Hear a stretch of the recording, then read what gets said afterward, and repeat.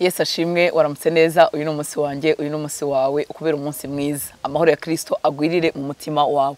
Ugira imbaraga zo gukora ibyo imana ishaka ugira imbaraga zo kwigira imbere ugira imbaraga zo gukomeza gushaka imana. Ugira imbaraga zo gukora n'inshingano zawe. Hari inshingano dufite imana idutije mu minsi duhaye hano mu isi.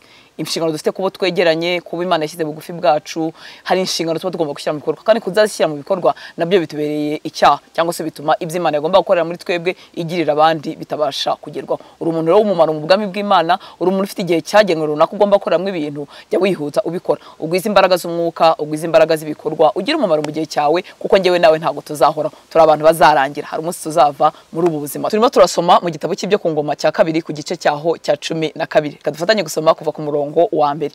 Ngo hanyuma Re- rehobowamu amaze gukomeza ubwami bwe areka amategeko y'uwiteka hamwe n'abisiraheli bose. Nuko mu mwaka wa gatatu ku ngoma ya Re- ya rehobowamu shishaki umwami wa giputa atera yerusalemu kuko bacumuye ku witeka igice twasomye ku munsi w'ejo yari yu- yumvira uwiteka afite amabwiriza y'uwiteka mu mutima we kandi arimo kuyakurikiza. Hanyuma ubwami bwe burakomera icyo gihe yabanaga n'imana neza. Ubwami bumaze gukomera ngo arekera kumvira amategeko y'uwiteka n'abisiraheli bose. Mu yandi magambo atera imana umugongo.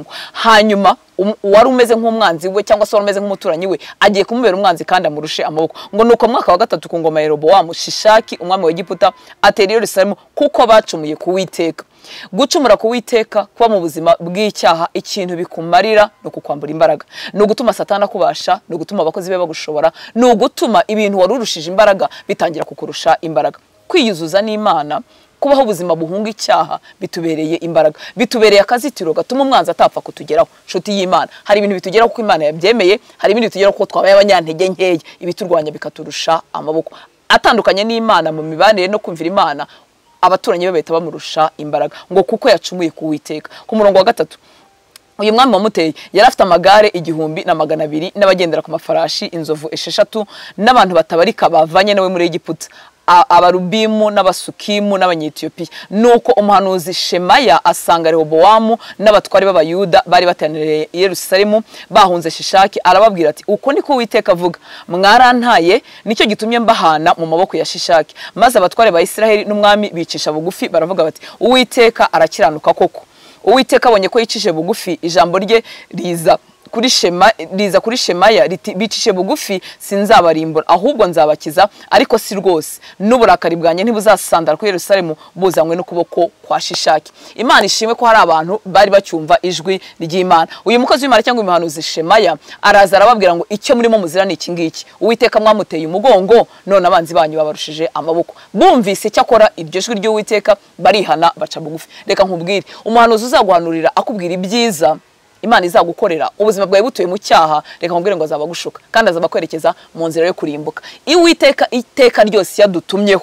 Yadutumyeho dutuye mu buzima bw'icyaha dutuye mu buzima buri kurewe ikintu kibanza ijwi ribanza rivuga ngo nimwihane nimungarukire nimuhindukire. Hanyuma n'indi migambi dufitiye bikaba byakomeza. Rero umuntu naguhanurira akubwira ibyiza n'ubutsinzi n'iterambere kandi ubizi neza ko utuye mu cyaha. Atagusaba kwihana atakubwira ko imana ikubwira kwihana uzamenye ubwo buhanuzi. Ni igice cyangwa se burapfuye cyangwa se ni ubw'indamo iteka ryose umukozi w'imana muzima. Ahangaha uko tubona yarazaga akababwira kwihana. Igihe cyose babaga bateye imana umugongo. Kandi bakwihana na byo imana ikabibona ikongera ikabatuma irongera avuga ngo imana ibonye ko baciye bugufi. Nta kintu na kimwe nta buzima na bumwe bwacu imana iterekezaho amaso. Ikindi tubona ahangaha wenda gishobora kuduteja urujijo.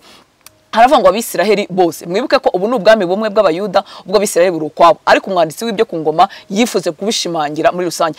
Azagenda avuga abami b'abayuda abubashye imana abatubashye imana ariko ntabwo ashimangira cyane iri tandukanya ry'aya mazu yombi.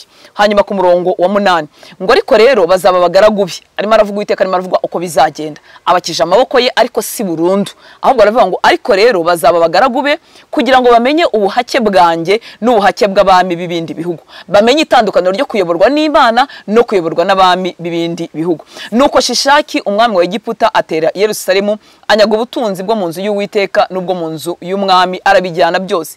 Ajyana n'ingabo z'izahabu salomo yacurishije. Umwami rehobowamu ahera ko acurisha ingabo z'imiringa ngo zisubire mu byimbo byazo azibitsa abatware b'abarinzi barindaga urugi rw'inzu y'umwami. Kandi iyo umwami yinjiraga mu nzu y'uwiteka abarinzi bamushagaraga barazijyanaga maze yasohoka bakazisubiza mu nzu y'abarinzi. Uko yicishije bugufi uburakari bw'uwiteka bumuvaho bituma atamurimbura rwose. Kandi ni buyuda hari hakirimo ibyiza. Baciye bugufi hari ibyiza byabo byarinzwe kandi uyu muntu wari ubateye wo muri Egiputa ntabwo yabarushije amaboko. Ariko imana ibemereye ko bagiye kugereranya. Bagiye kugereranya ubuhake bw'imana cyangwa se kuyoborwa n'imana no kuyoborwa n'abandi bami. Ibi bintu muzi ko bijya bitugeraho mu buzima bwacu bw'uyu munsi. Hari igihe umuntu yibwira ko kugira ubuzima bwitoza kubaha imana bugerageza kubaha imana ari imvune. Akumva ko ari ibintu by'isi azahomba akumva ko ari ibintu biryohereye azahomba ariko reka nkubwire. Kuyoborwa n'imana biraryoshye kuruta gutwazwa igitugu na satani cyangwa se na kamere yacu. Nugereranya ubwo buyobozi bwombi uzasanga kumvira imana ari byo birimo inyungu nyinshi. Imana rero irabemera ngo reka bagereranye. Hanyuma nibamenye neza ko kuyoborwa nanjye ari byo byiza noneho bazihana bangarukire be gutwazwa igitugu n'abandi bami. Ku murongo wa cumi na gatatu. Ngo nuko umwami rehobowamu yikomereza yerusalemu arahategeka kandi yagiye ku ngoma amaze imyaka mirongo ine n'umwe avutse. Amara imyaka cumi n'irindwi yerusalemu ari ku ngoma umurwa uwiteka yatoranyije mu midugudu yo mu miryango ya isiraheli yose ngo awushyiremo izina rye. Kandi nyina yitwaga nama w'umwamoni kazi ariko yarakiranirwaga kuko atagiraga umwete wo gushaka uwiteka. Uyu muhungu wa salomo rehobowamu yarongeye akomezwa n'uwiteka. Ubwami bwe burakomera agerageza kwiyunga n'imana no kongera kuyoboka amabwiriza n'amategeko y'uwiteka. Icyo akora nyina ntiyubahaga imana. Ngo nyina ntiyubahaga imana. Yari umunyamahangakazi yari umwamonikazi nk'uko salomo yari yashatse abagore benshi b'abanyamahanga. Hanyuma ijambo nifuza ko twigiraho aravuga ngo ariko yarakiranirwaga kuko atagiraga umwete wo gushaka uwiteka. Uzi ko dushobora gushaka uwiteka? Tugenda icyo bita biguru ntege. Tubigendamo buke buke. Uzi aho biba bituganisha biba bituganisha mu gukiranirwa. Umuntu wese wifuza kubana n'imana neza ibyo bintu abishakana umwete abikorana umwete. Ajya gusenga umwe ajyanye umwete asoma ijambo ry'imana. Akoranye umwete yitoza gukiranuka no gukora ibyo imana ishaka abishyizemo umwete. Igihe cyose wumva utakaza umwete w'ibintu by'imana wahoze ukora uburyo washakaga imana uzamenye ngo inzira bikwerekezamo ntabwo ari nziza. Ngo yarakiranirwaga kuko atagiraga umwete. Ashobora kuba yaranyuzagamo kuko yari azi imana azi inyamahanga ariko ashobora kuba yaranyuzagamo agashaka imana ariko birimo biramuganisha mu nzira yo gukiranirwa wikwemera ko ubuzima bwawe bwo mu mwuka wabucogoza. Handi wajya gushyira imbaraga ushaka imana wikwemera ko hacogora kuko bizakwiganisha ahantu hatari. Muri uru rugendo nta hagati na hagati haba. Habamo ku muntu kuba arimo yigira imbere mu kubana n'imana hakaba n'indi gihe umuntu yitwa ko yahagaze cyangwa yagize intege nkeya ariko burya mu mwuka tuba turimo gusubira inyuma. Imana iguha umugisha imana ikugwiriza imbaraga zo gukora ibyo ishaka. Ugire umunsi mwiza.